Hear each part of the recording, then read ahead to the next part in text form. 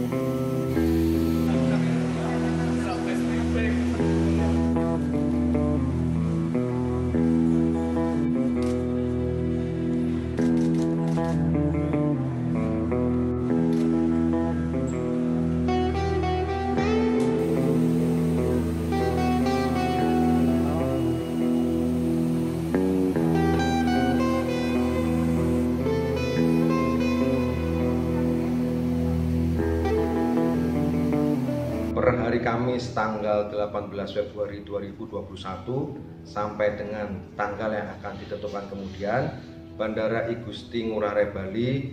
mengoptimalisasi jam operasional penerbangan yang awalnya jam 07.00 WITA sampai jam 23.00 WITA berubah menjadi dari jam 07.00 WITA sampai jam 20.00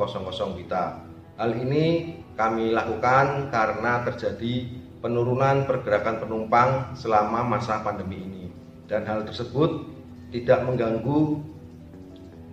jalannya operasional penerbangan ataupun operasional bandara dan maskapai